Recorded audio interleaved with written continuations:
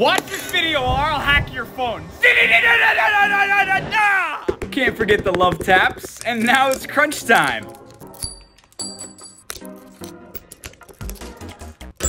In nomine Patris et Filii et Spiritus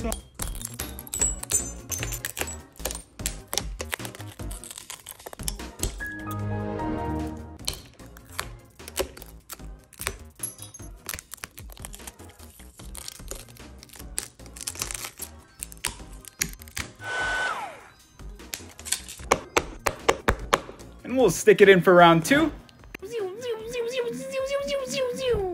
We'll give it a good old brush, clean it up, and then glue it down.